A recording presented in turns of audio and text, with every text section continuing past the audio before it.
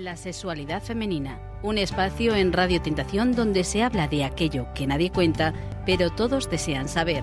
Te esperamos de martes a sábado a la 1 y 40 de la madrugada en la sintonía de Radio Tentación. Bienvenidos y bienvenidas. Eh, que, que no podríamos esperar porque estábamos impacientes para empezar aquí en la sexualidad femenina con la psicoanalista del grupo cero, Clemos Lunis. Laura López. Y Elena Trujillo. Con ese... y es que Laura está impaciente porque nos decía, si es que el otro día Elena... No, no lo vamos a saber. Ahora no lo quiere decir. Ahora lo Bueno, que... sí, Estuviste lo digo, con, lo hablando digo. con una persona, ¿verdad? No, sí, voy a decir. Es que estuve hablando con una persona y me llamó la atención en la conversación que, que, que ¿Qué tenemos un escuchaste? gran ¿Qué escuchaste? Mire, escuché que, bueno, había habido una desgracia en, en esa familia y, y claro, se extrañaban de, de que no se hubieran dado cuenta que a esa persona le ocurría algo porque, bueno, había fallecido, ¿no? Por, por una desgracia. Eh, y claro, esa desgracia que había ocurrido, que es, Parece un que es el suicidio, pues eh, solamente suicidio. podría ser por depresión.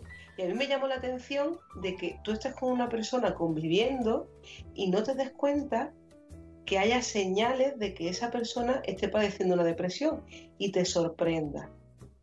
¿No? Porque, Claro, si, tú, porque... si tú convives con una Mm. persona y una persona fallece por un suicidio, hay indicios que te están diciendo que un- solamente uno se puede suicidar cuando tiene un- una melancolía, cuando tiene una depresión. Entonces, pero yo que tú no veas eso, eh, y entonces pensé, perdona, pensé que la, la depresión es una enfermedad sin rostro, en el sentido que no es el depresivo el típico que no puede trabajar, que está metido en su casa, que no, eh, no se cuida, que está triste, no, sino que a veces, aunque uno haga actividades a lo largo del día y aparentemente parezca que está sostenido por algo, no está uno melancólico 100%, sino porque la enfermedad no Pero es eso es porque estás 100%. en Málaga y no has venido aquí en directo al estudio de la sexualidad femenina. No se puede llamar del todo depresión. Pero yo creo que Claro. también la gente no se da cuenta por una cosa Mm. muy importante.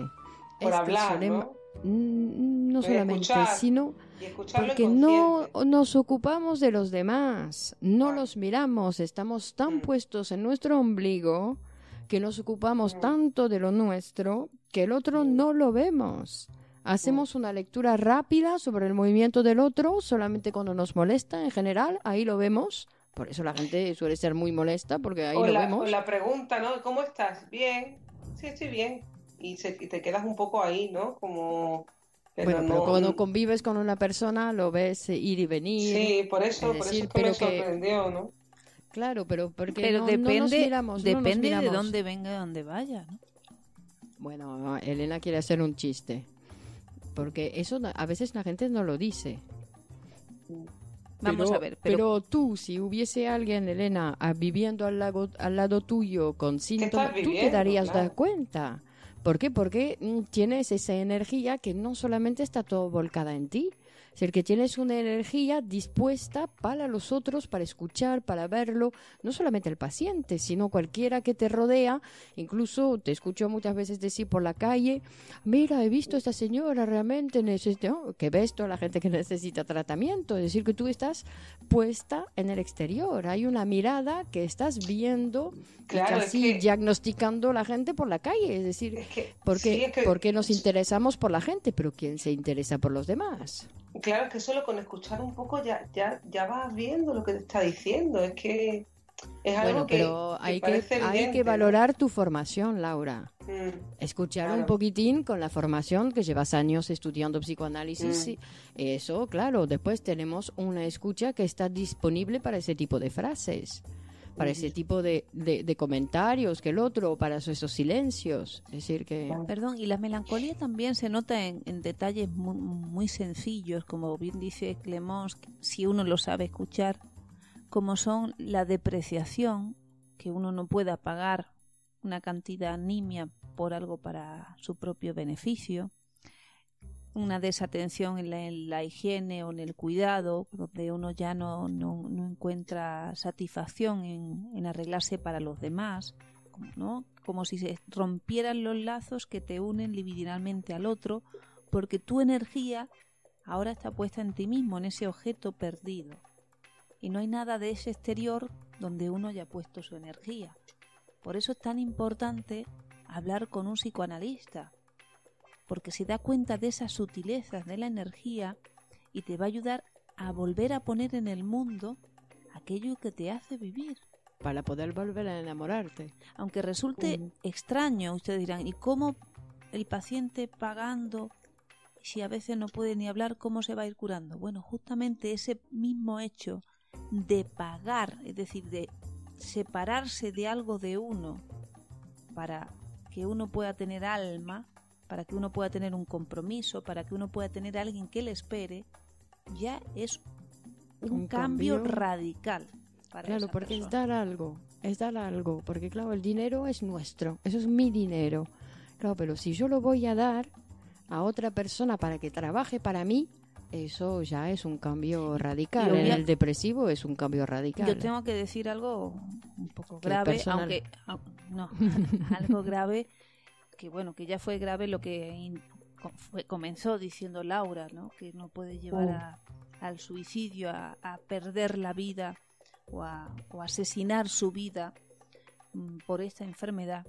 Y es que hay un montón de personas que nos rodean que están en, ese faz melancólico, no ya tan grave como, personas que no tienen esos lazos, pero que todavía no, no saben apreciar lo que están haciendo, los compromisos que tienen, que todavía están con un tinte blanco y negro en los ojos, sin darse cuenta de que poder ocuparse de ellos, tener ese tiempo para hablar, pagar por su tratamiento, apreciar y valorar lo que están produciendo ahí, y todavía no lo pueden aprovechar porque están un poco enfermos.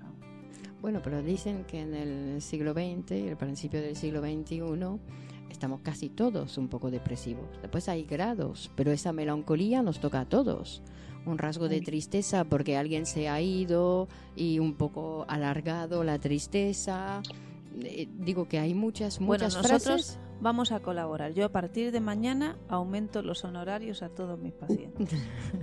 Empiezo el camino de salir de esa depresión generalizada, porque una cosa es que haya una crisis económica prolongada y otra cosa es que haya depresión entre los pacientes y los compromisos psicoanalíticos. A partir de mañana, aumento honorario.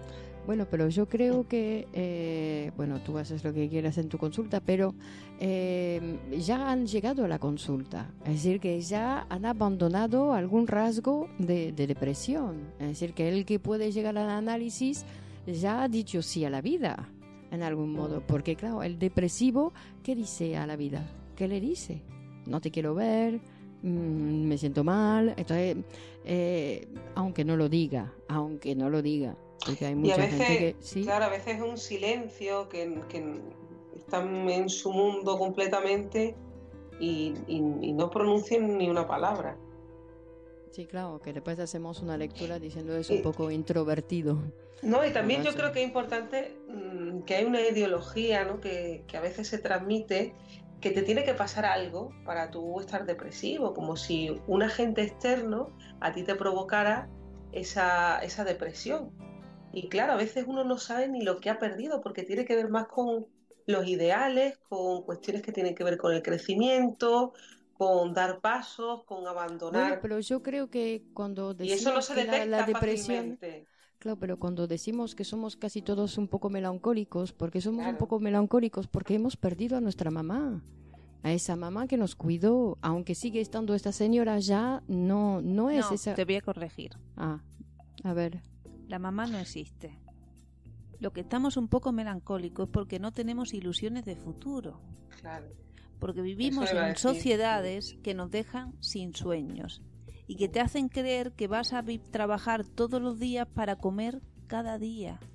Bueno, no es exactamente una corrección, es una, una idea más. Es decir, sí, ya, efectivamente, tenemos que ver que es desde el futuro donde tenemos que crear para poder abandonar Es decir, para poder abandonar yo tengo que mm, tener algo atractivo. es no como se cuando- trata de abandonar nada. Se trata de aprender a ganar. Bueno, que la vida no se tengo- tiene, tengo no se puede perder. Cuando vives, ganas, produces esa vida, que no tenías nada. Todo es riqueza. Bueno, pero esa pérdida, efectivamente, esa pérdida que piensa que el melancólico tiene, o que no piensa porque no se da cuenta, que es por interpretación, es una pérdida, ¿verdad? Es una No. pérdida. No. Eh, ha perdido un Él- ideal, es decir, no, que había él algo. formaba parte del cuerpo de su madre, por tanto no tenía cuerpo, no tenía vida. Y esa melancolía es su propio nacimiento. Es darse cuenta de que está vivo. Bueno, eso es Le la, la curación. felicito, le felicito. Eso es la curación, ¿no? Es salir de la melancolía. Exactamente. Después de la tiene- curación viene la universidad, viene el estudio, los libros, el trabajo, los amores, las cosas. Por tanto, viene la vida. Porque curarse es vivir, es hacer. Pero seguir pensando que a uno le falta algo es no darse cuenta que todo está ahí en el exterior. Sí, pero la melancolía no es que me falta algo. Perdón, insisto, no es que me falta algo, es que he perdido algo. Es diferente. Y, sí, y, no- y a veces Porque no hay tiene cosas tan- que yo no tengo, pero que nunca tuve. Que ambiciono tener en algún momento, o que voy a tener en algún momento. Esa cosa Sí, pero- de, no, no tengo eso, no tengo eso, pero espero tenerlo y trabajo para algún día tenerlo, o fantaseo que Cuénteme algún sus día. sueños. Pero, Cuénteme sus pero la sueños. pérdida, la pérdida es algo... Clemón, si, una persona puede hablar de algún sueño, no está deprimido. Pero si no te puede hablar de ningún sueño porque ya no tiene sueños, Bueno, pero ¿de qué sueño hablamos? ¿Del que hice anoche?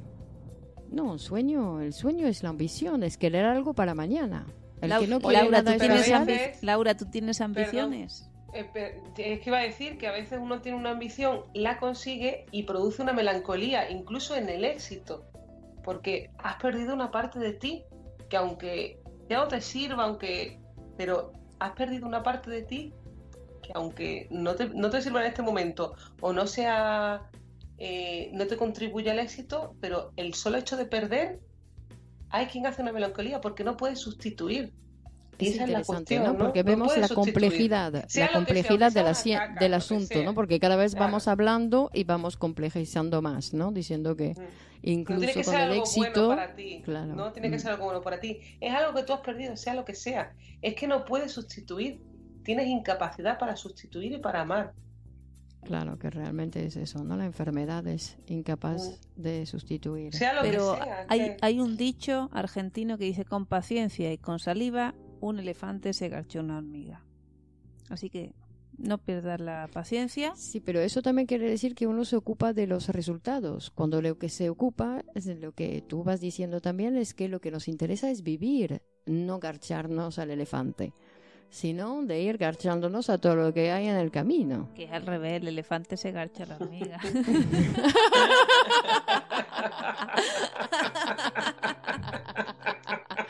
hormiguita, hormiguita. Yo veía mi ambición. Oye, qué fino, ¿eh? Qué, fi- qué finas estáis hoy, ¿eh? Bueno, nos pueden consultar a la dirección de mail la sexualidad femenina radio arroba gmail.com, la sexualidad femenina radio arroba gmail.com. El teléfono, Laura. Sí, el 610 86 53 55. Y si nos llaman desde Madrid o de cualquier otro lugar del universo, pueden hacerlo contactando en una línea normal y tradicional en el 91 55 96 436. Eso como Claro, es, como desde el es. extranjero es 003491. Muy bien, seguimos el próximo día. Un abrazo a todos. Adiós. Adiós, chao. La sexualidad femenina, un espacio en Radio Tentación donde se habla de aquello que nadie cuenta, pero todos desean saber.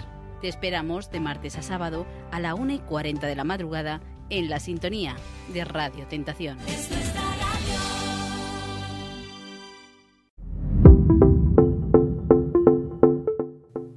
Con Servicios Lunis aprende un idioma con profesores de calidad. disfruta de las ventajas de las clases por Skype.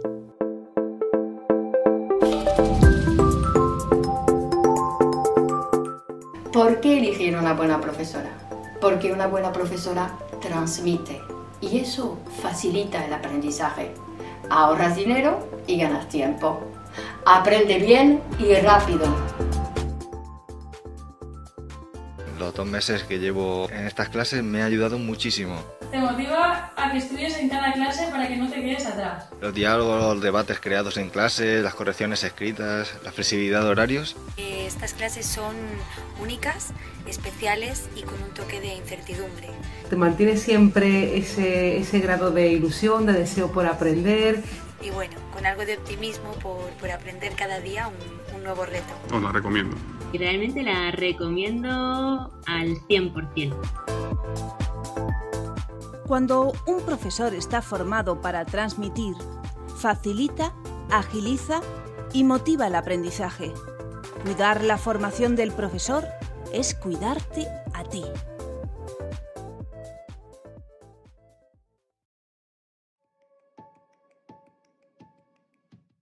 Conferencia de psicoanálisis con psicoanalistas de Grupo Cero.